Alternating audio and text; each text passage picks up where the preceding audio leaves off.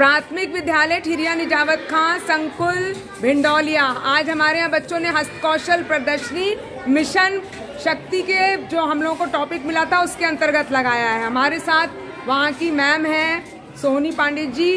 बताइए मैम बच्चों का थोड़ा सा एलोब्रेट करना स्टार्ट कीजिए। मैं प्राथमिक विद्यालय ठिरिया निजावत खां से, सोहिनी पांडे, इंचार्ज अध्यापक। आज जैसा कि हमारी संकुल मीटिंग में बच्चों के लिए बाल मेला का आयोजन किया गया था। बच्चों द्वारा बनाए हुए हस्त कौशल का प्रदर्शनी के लिए। तो हमारे स्कूल से कुछ बच्चे आए हुए हैं।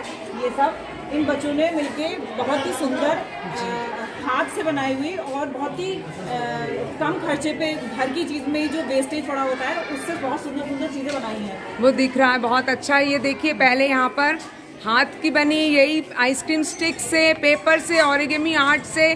बच्चों ने बहुत ही मेहनत से, हमें लगता है कि छोटा छोटा काम है, लेकिन वो बहुत टाइम कंज्यूमिंग होता है, बहुत ज़्यादा।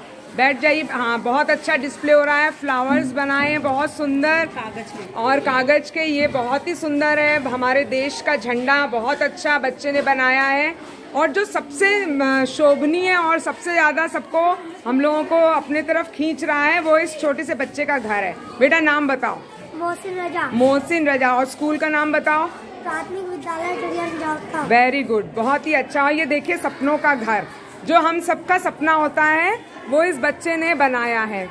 हम अंदर घुसेंगे अब इस घर के अंदर। देखिए, सबसे पहली बात मॉड्यूलर किचन बच्चे ने पूरा कॉन्सेप्ट ये सोफा यहाँ पर बाथरूम यहाँ पर ये देखिए वॉश बेसिन भी बच्चे ने बनाया है। कितना ही मोहक, कितना मन, ऐसा लग रहा है कि अभी इसको, बेटा इसकी कितनी कीमत होगी? हैं? कितने लाखों में दोगे? ये सपनों का घर है, जिसे हम कहते हैं कि सब लोग चाहते हैं। ऊपर टेरेस बनाया है टेरेस में झूला बनाया है। बहुत सुंदर, बहुत ही अच्छी कारीगरी।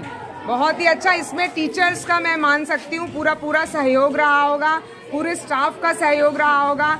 सब टीचर्स आ जाएँ, ताकि हमें पता चले हमारी टीचर्स भी कितनी हुनरमंद है और सारे बच्चे भी आ जाएँ साथ में।